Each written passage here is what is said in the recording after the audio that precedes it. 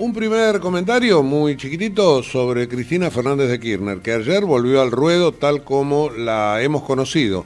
Beligerante, agresiva, irónica, este, ha puesto su chapa de, política de tanta experiencia este, arriba de la mesa, pero volviendo a algo que ella hacía con mucha frecuencia cuando estaba en la presidencia.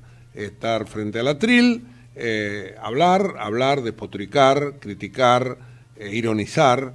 Eh, me parece que es bien saludable que esto aparezca ahora mostrando a las personas tal como es.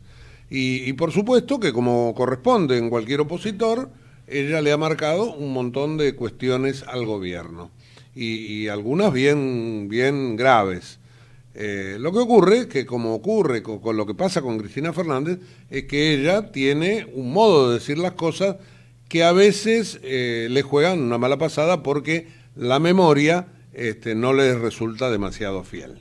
Es como eh, yo llegué recién, bajé con un paracaídas, estoy acá, soy pristina, pura, este, nada me alcanza, nada me toca.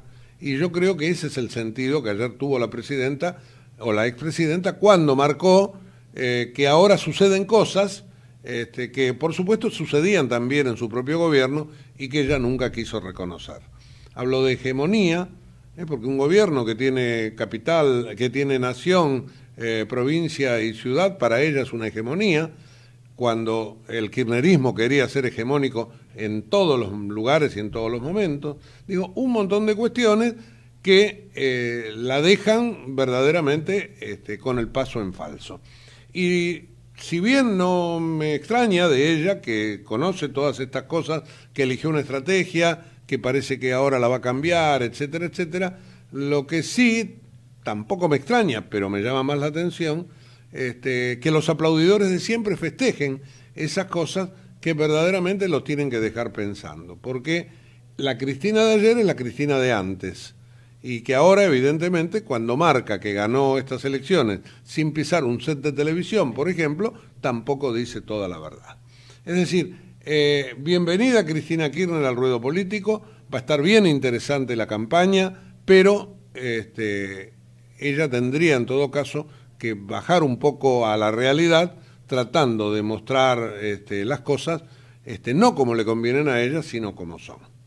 Por supuesto que hubo críticas a la economía, hubo críticas en el caso Maldonado, todo lo esperable de un opositor. Lo que no es esperable, aunque sí de Cristina Kirchner, que esa oposición se haga con medias verdades. Y todo el mundo sabe que una media verdad no deja de ser también una media mentira.